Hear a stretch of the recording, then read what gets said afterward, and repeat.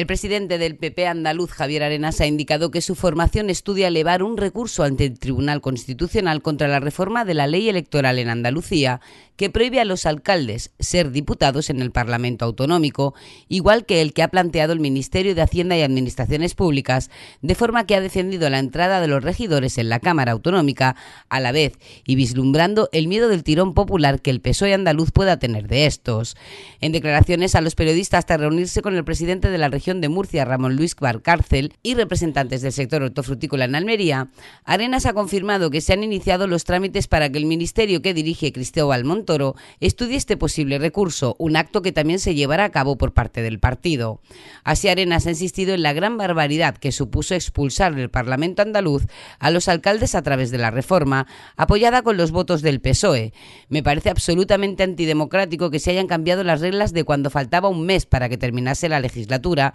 sin contar con todos, ha dicho el presidente de los populares andaluces. En este sentido, ha criticado la aprobación de esta ley, cuando por otra parte el líder de la oposición municipal de Sevilla, Juan Espadas del PSOE, o el alcalde de, Alcalá de Guadaira, Antonio Guterres Limones, también del PSOE, puedan optar a formar parte del Senado. Por ello, Arenas cree que no se pueden plantear reglas de juego en función de afanes electorales.